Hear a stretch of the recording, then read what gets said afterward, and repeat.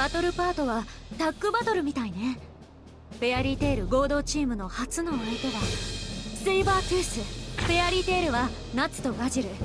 セイバートゥースはスティングとローグ。どっちもドラゴンスレイヤーじゃない。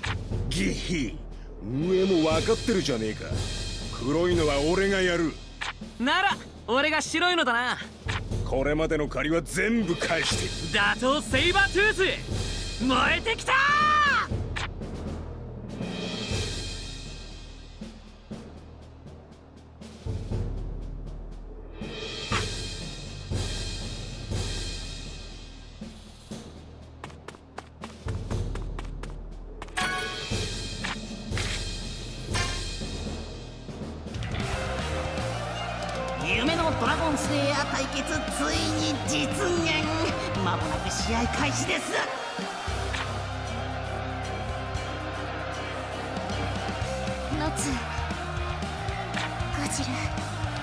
ガツンとかましてこい。俺たちの分までな。応援してます。夏たちならきっと勝てるよ。思いっきりやるがよい。あとは何も言うまい。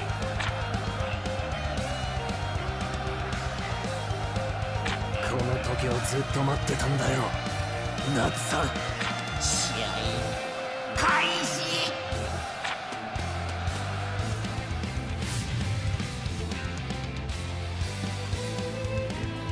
行く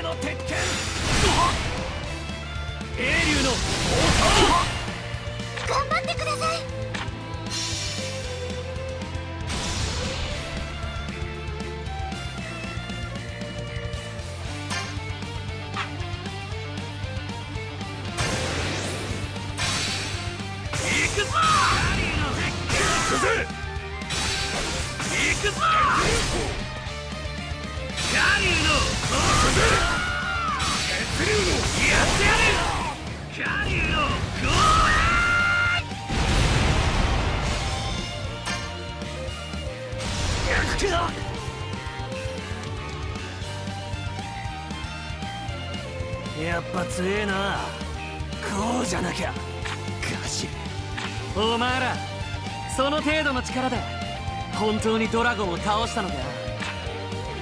倒したんじゃない。殺したのさ。この手で。自分の親じゃなかったのか？あんたには関係ねえことだ。今からその竜殺しの力を見せてやるよ。ホワイトドライブ。シャドウドライブ。行くぜ！ホワイトドライブ。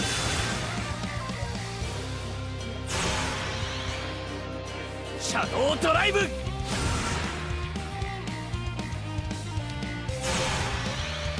聖なる白き裁きを。ホーリーフライナ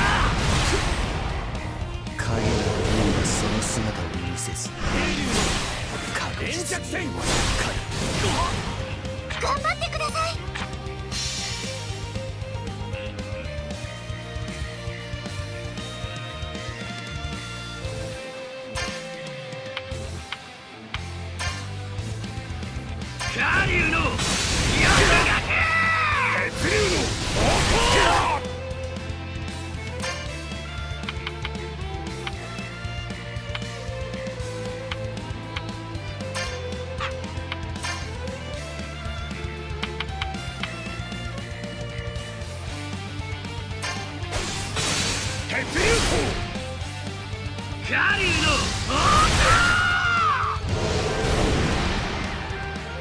英竜の連弱戦。熱流奥義ホーリーノマ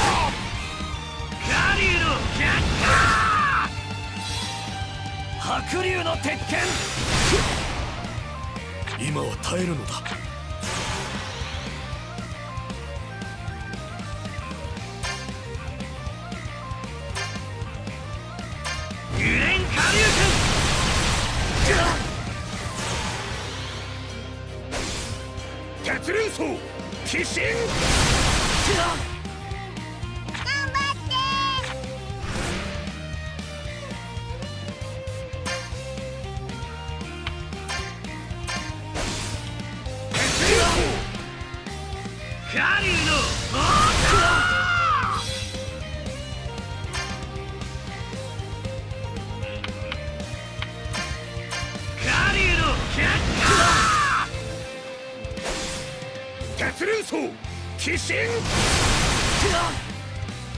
やばいよ。一気に。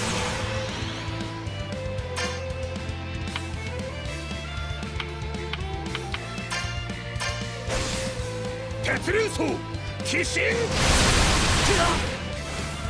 なかなかやるじゃねえか。あまり調子に乗んなよ小僧ども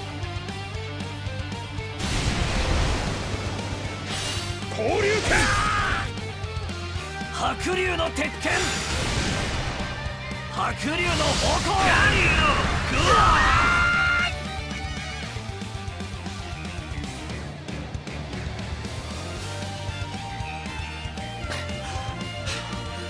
追われるものか。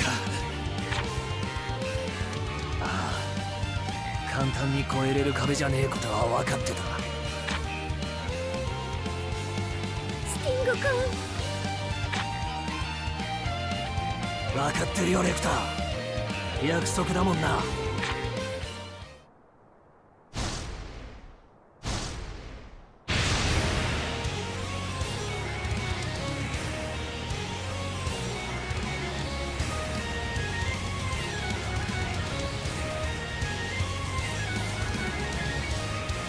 けねえよ。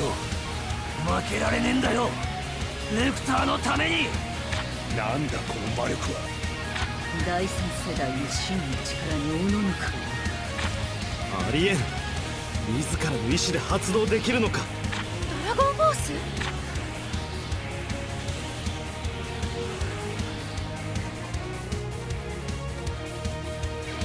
この感じ。まだまだこれからだ。時代は移りゆく。旧世代の時代は終わったんだ。片付けてやる。終わりにする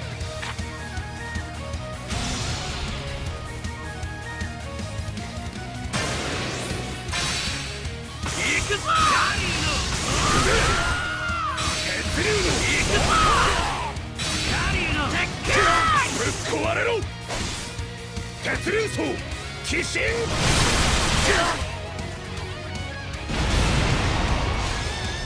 俺はこの力でバイスロギアを殺したんだ！そうか。だったら俺はこの力で笑われた仲間のために戦う。まずいわ。一気に行かないと。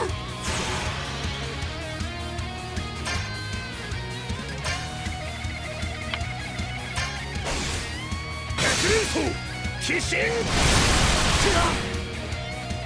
リューのシャドウレイ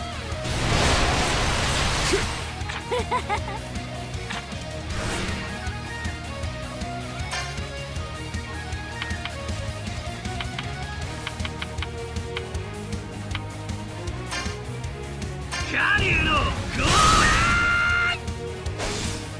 血連装鬼神これで終わりかよ。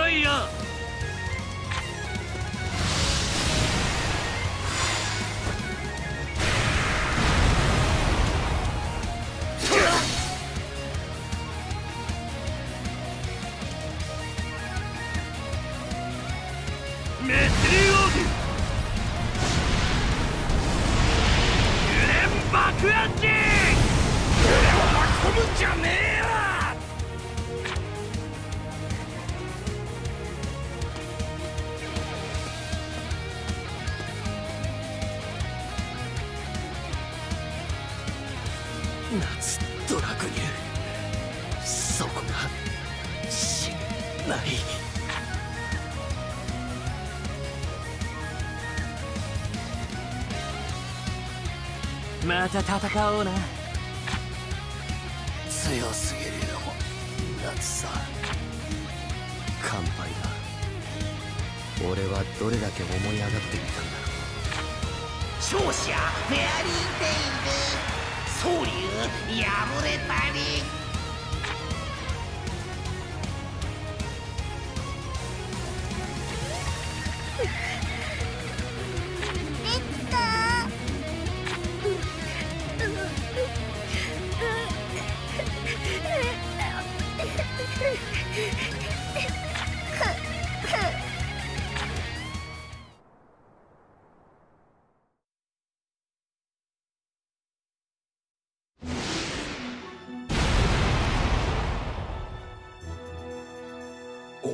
まで吹っ飛ばしやがって。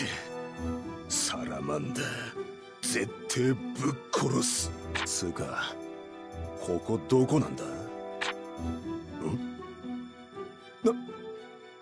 ななんだこりゃ？ドラゴンの墓場？さ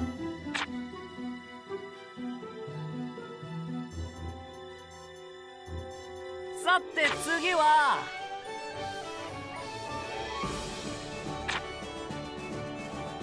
の調子です。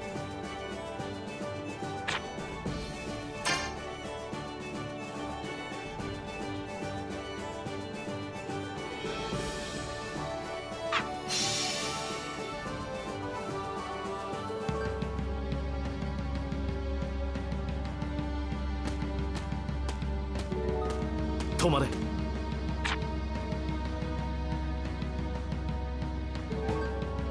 俺も正体お前も正体を明かせ。そんな。その話本当なの？そんなこと信じられるわけ。俺たちは大きな勘違いをしていたのと同時に抗えない運命の中に閉じ込められていた。世界を変える扉エクリプス。そして竜王祭。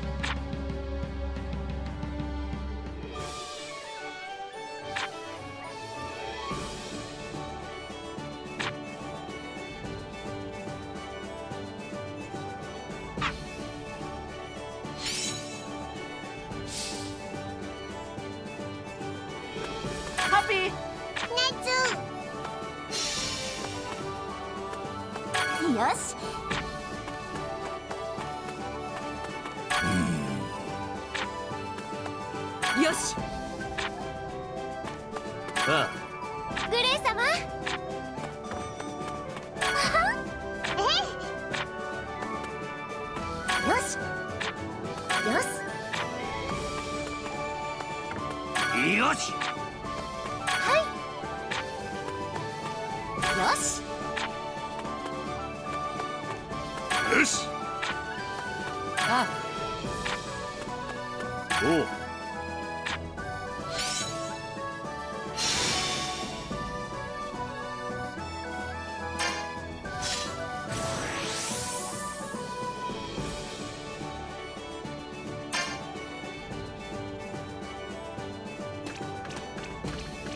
おいサラマンダーと来い。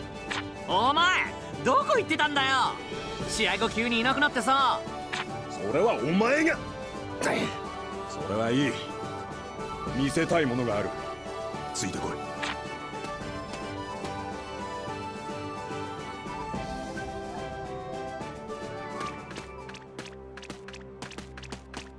これは？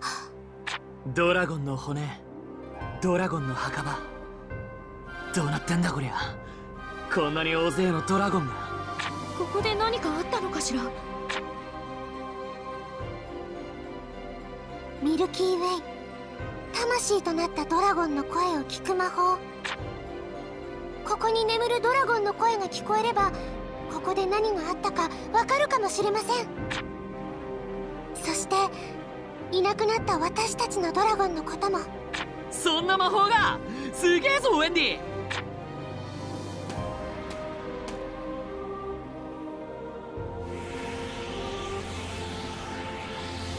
まよえるドラゴンの魂よ。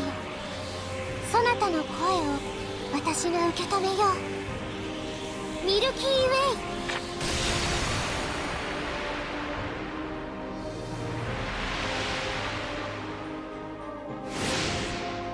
我が名はジルコニス。翡翠の竜とも呼ばれていた。わしの魂を呼び起こすとは。グランディーネの術じゃ。なここで何があったの？こんなにもたくさんドラゴンの亡骸があって。あれは400年以上昔のことだ。かつて竜族はこの世界の王であった。自由に空を舞い大地を駆け海を渡り繁栄していった。この世のもの全ては竜族のものであった人間などは我々の食物に過ぎなかったのだよ。だがその竜族の支配に異論を唱える愚かなドラゴンがおった。人間と共存できる世界を作りたいと抜かしおったのじゃ。それに賛同するドラゴンと反対するドラゴンとの間で戦争が始まった。わしは反対派として戦った。反対派ってことは？わしは人間は好きではない。食物としてなら好物であるがな。食いもんと会話してんのか？おめえ。ほらそういうのムカつくのそれでその戦争はどうなったの？興奮戦況は拮抗しておった。ドラゴンとドラゴンの戦いはいくつもの大地を裂くものだった。やがて共存派のドラゴンどもは愚かな戦略を打ち立てた。人間にドラゴンを滅する魔法を与え戦争に参加させたのだ。滅竜魔法？ドラゴンスレイヤーの原点ってこと？ドラゴンスレイヤーたちの力は絶大であった。人間との共存を選んだドラゴンたちの勝利は目前と迫っていた。しかしここで一つの誤算が生じる。力をつけすぎたドラゴンスレイヤーたちは人間との共存を望むドラゴンたちさえも殺していった。そしてその人間の中の一人にドラゴンの血を浴びすぎた男がおった。その名を口にするのも恐ろしい。男はあまたのドラゴンを滅ぼしその血を浴び続けた。やがて男の皮膚は鱗に変わり歯は牙に変わりその姿はドラゴンそのものへと変化していった。ンになったの？それが滅竜魔法の先にあるものだ。ここに眠るドラゴンたちその男により滅ぼされた。男は人間でありながら竜の王となった。竜の王が誕生した戦争。それが竜王祭。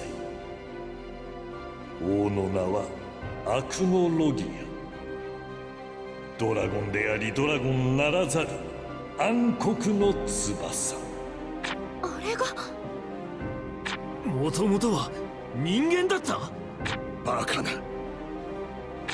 奴によりほとんどのドラゴンは滅んでいった。それが今から400年前の話だ。わしは貴様らまだ聞いてねえことあんだろ。ダメです。この場から思念が完全に消えました。東洋の言葉で言う成仏というものでしょうか。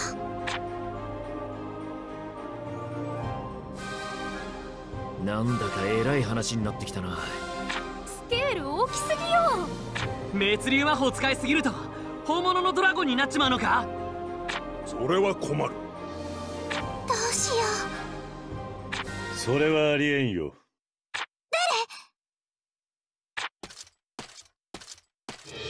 話は聞かせてもらった。やはり我々の研究と史実は一致してい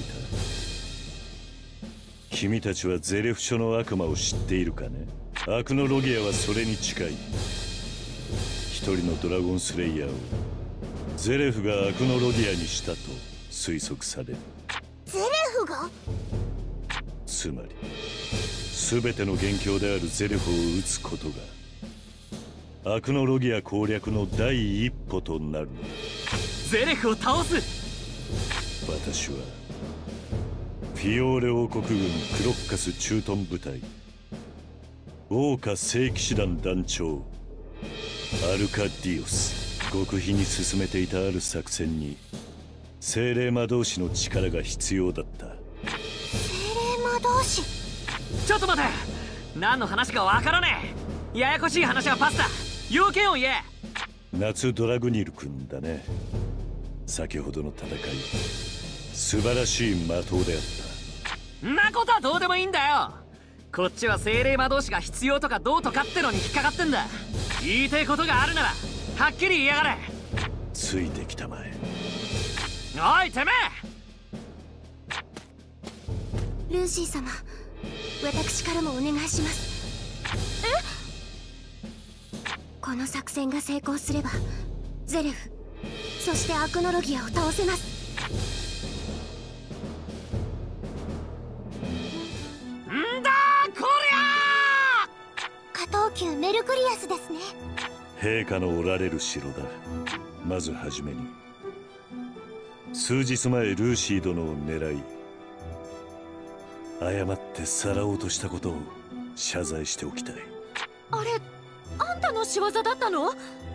もちろん危害を加えるつもりはなかったがいささか強引な策に走ってしまった。あの時は早急に精霊魔導士が必要だと思い込む判断を誤った。申し訳ない。大魔党演武は魔導士たちの魔力を大量に摂取するためのカモフラージュだった。毎年魔導士たちから魔力を奪っていたのかよ。汚ねえな。何と言ってもらっても構わんよ。全てはある計画のためにやったこと。世界を変える扉エクリプス。これの建造のため大量の魔力が必要だった。扉？なんだこりゃ？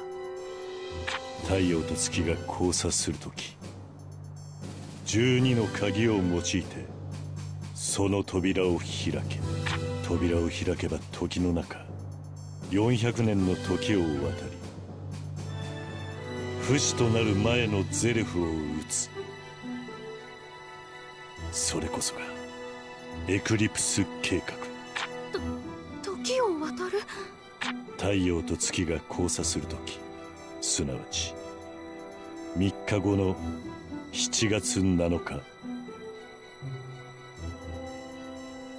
君の力を貸してほしい。ルーシー殿。7月7日。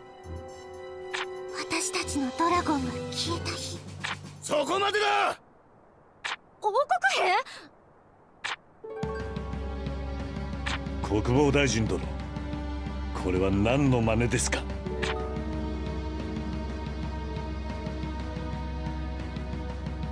部外者ではない。知っているでしょう。この作戦において重要な役割を持つ者たちです。あなたは単にこの計画に反対なだけでしょう。今すぐこんなふざけた真似はやめていただきたい。ち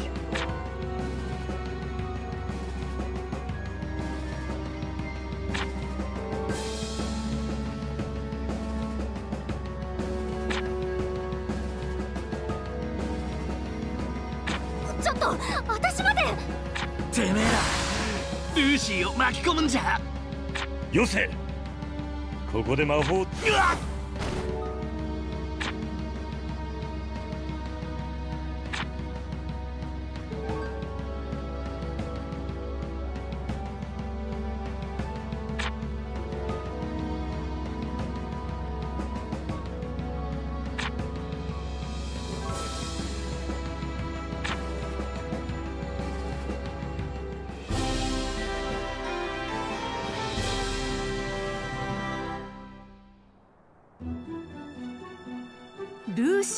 国兵に捕まっよくわからん計画の関係者にされちまったのが。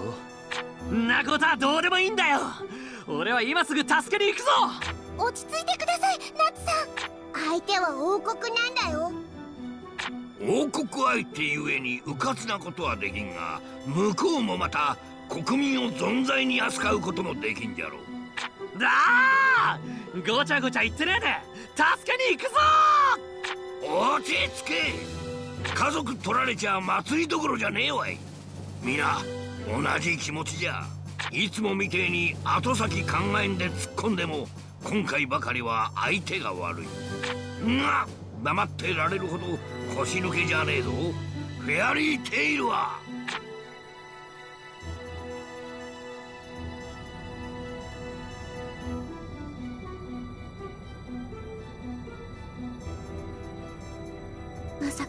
ことになってしまうなんて。私は本当に不幸を呼ぶ。何言ってんの？落ち込む暇があったら脱出方法を考えよルーシー様本当にすみません。あんたのせいじゃないって。私もあんたも王国の内毛場に巻き込まれた。それだけ。エクリプス計画ってのを実行すべきかどうかって話でしょ。はっきり言ってどっちが正しいか私にはわからないよ。実行。するべきですよ。私には姉がいたんです。空野という名前でした。私は何をやってもドジばっかりしていつも両親に怒られてました。でも姉はそんな私をいつでもかばってくれた。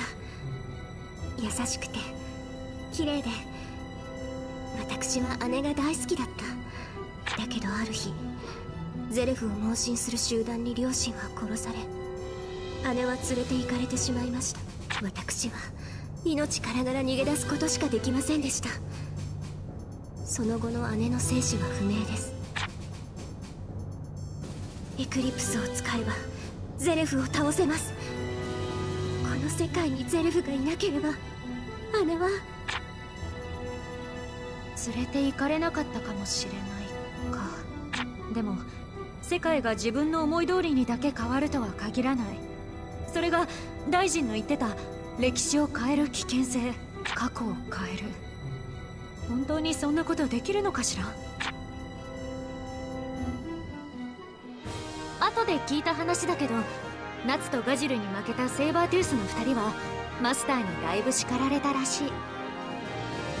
雪乃のように紋章を消せと言われたんだけどスティングの相棒レクターがかばったんだ。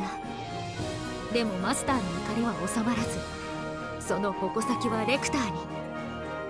レクターを消されてスティングは激怒。ついにマスタージエンマに歯向かってしまった。でもマスターのやり方が気に食わなかったのはミネルヴァも同じで密かにレクターをかくまっていた。けれどミネルヴァは優しいだけじゃなかった。優勝しなければレクターは返さない。スティングにそう告げたんだ。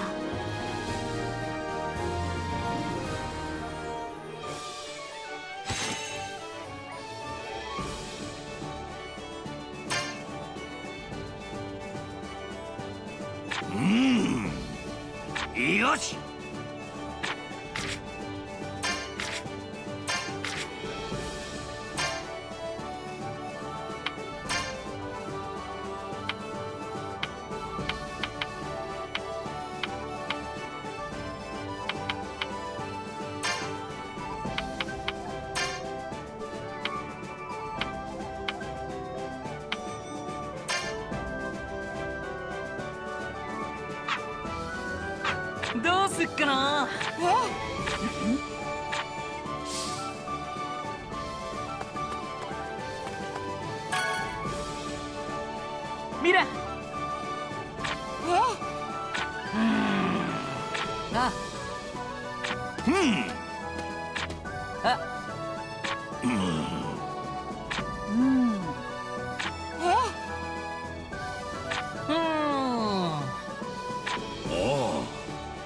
なるほど。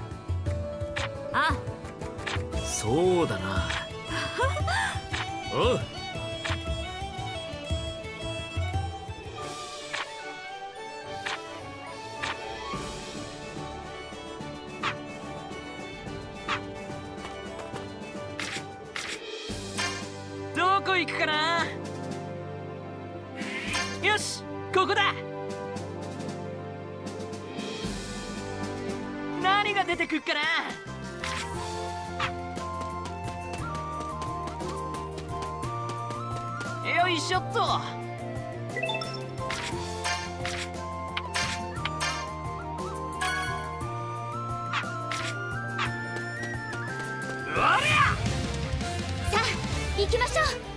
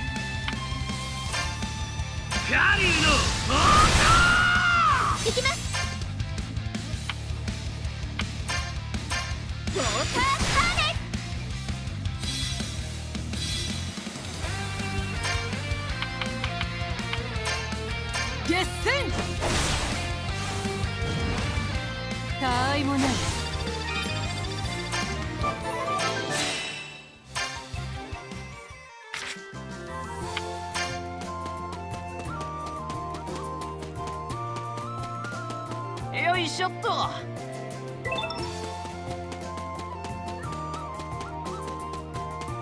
よいしょっと。よいしょっと。わりゃさあ行きましょう。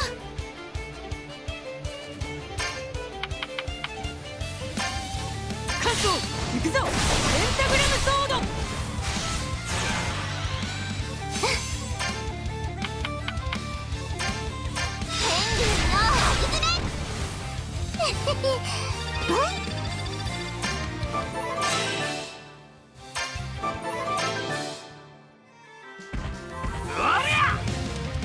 知られたいものからかかってこい。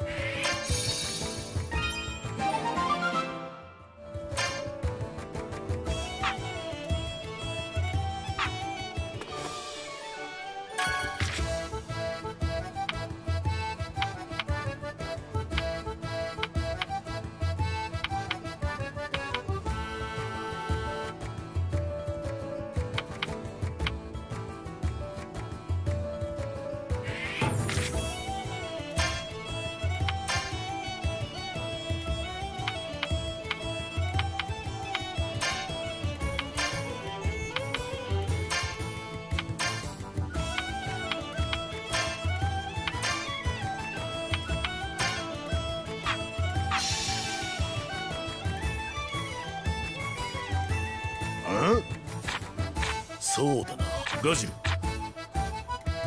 おお。ギヒー。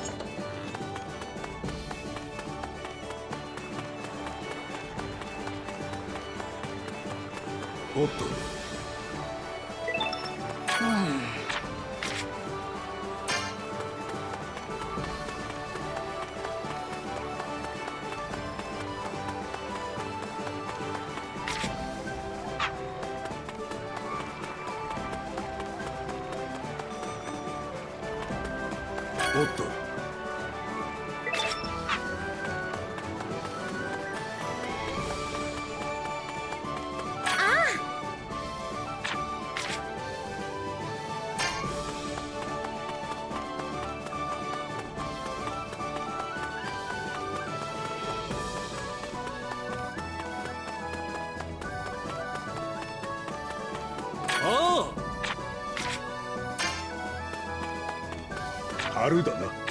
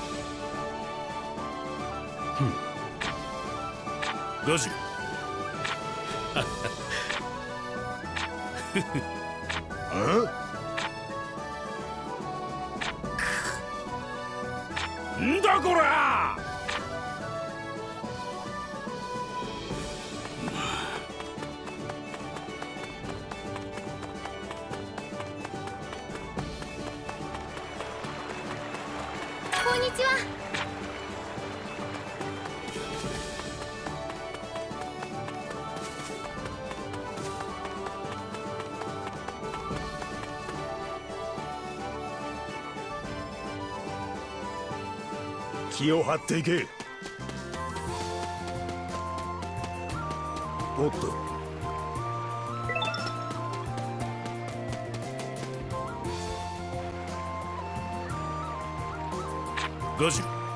ギヒヒヒさあ行きましょう。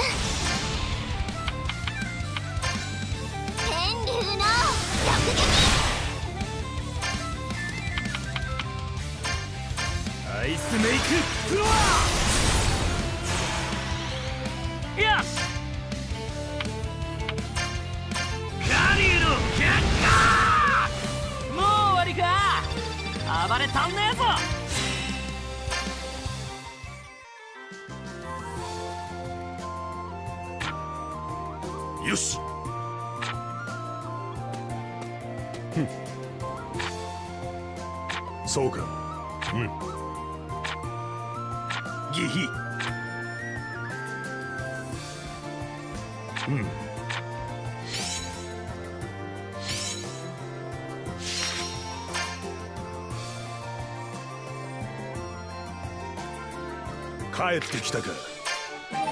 負けられんな。調子いいね。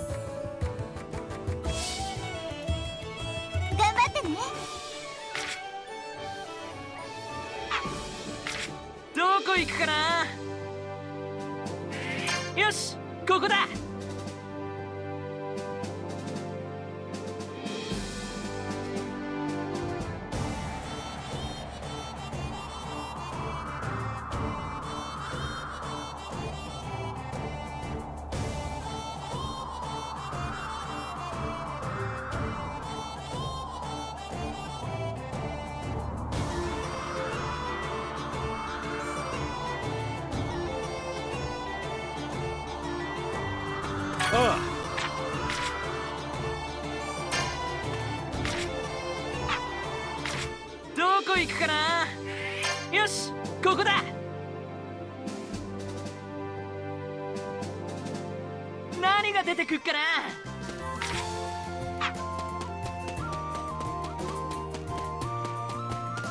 なよいしょっと。うわ